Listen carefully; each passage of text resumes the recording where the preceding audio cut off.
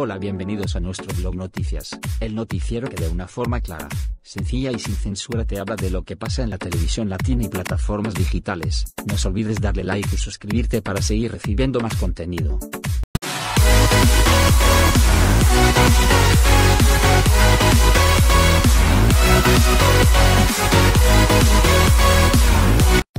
Comenzamos con nuestros titulares. Atención porque las directivas de RCN quieren sacar una segunda parte de la telenovela inspirada en la vida de Marvel. ¿Habrá segunda temporada de Amor Sincero?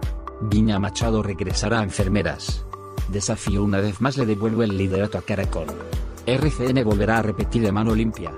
Netflix estrena ¿Quién mató a Sara? Se conocen los protagonistas de Vencer el pasado. En lo mejor de la semana, llega RTVC. Noticias, una nueva alternativa en información. Lo peor de la semana, Canal 1 alcanza récord en pésimo rating.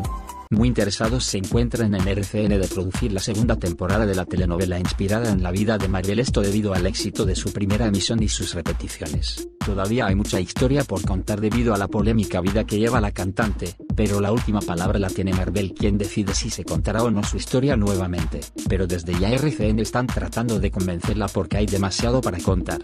¿Te gustaría una segunda temporada de Amor Sincero? Comenta. La actriz Viña Machado habló con los directivos de enfermeras para reintegrarse a la producción. Recordemos que su personaje de Gloria en Enfermeras murió por lo que queda complicado su reintegro pero no imposible. Viña decidió volver a la serie ya que el proyecto de Pescaito serie de Caracol se aplazó por la pandemia y por ahora no hay intenciones de retomar las grabaciones. Los libretistas de Enfermeras están tratando de ver cómo acomodar la historia para revivir a Gloria.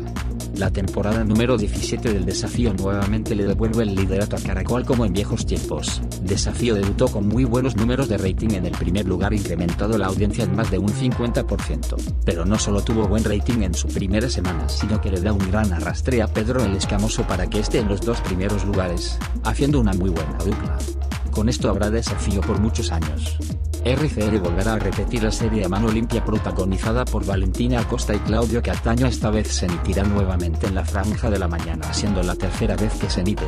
La serie juvenil fue un éxito en su primera emisión dando buen arrastre a los productos de RCN de ese entonces. A mano limpia podría ir en reemplazo del lío en el horario de las 9.30 y al parecer RCN canceló la repetición del fracaso de Azúcar.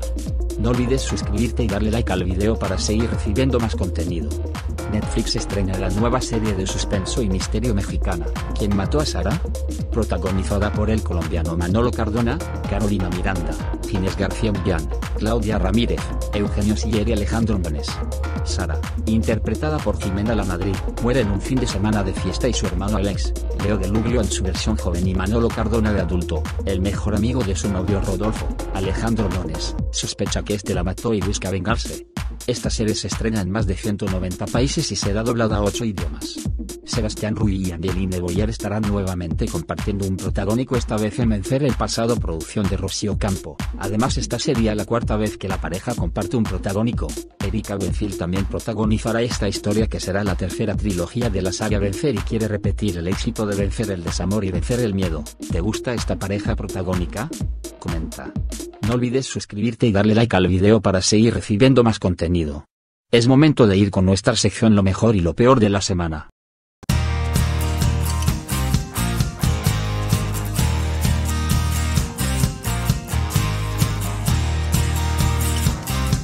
En lo mejor tenemos el nuevo noticiero que llegará mañana a las pantallas de Señal Colombia.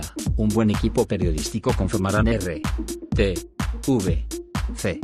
Noticias que con independencia y claridad buscan ser una alternativa en información. Muy interesante y bueno que hayan más espacios en televisión abierta para informarse. Lo peor de la semana es las pésimas cifras de audiencia del Canal 1 quien cada día marca mucho peor, incluso con cifras peores que al inicio en el año 2017. El pasado viernes caso cerrado marcó solo 0.1 de rating, cifras bastante bajas en un canal que no logra despegar y cada vez más toca más fondo. Lamentable por el gran esfuerzo y la gran inversión que han hecho las directivas del canal. Hasta aquí nuestro blog Noticias, el noticiero que de una forma clara, sencilla y sin censura te habla de lo que pasa en la televisión latina y plataformas digitales. Si te gustó este no olvides darle like y suscribirte, nos vemos en un próximo video.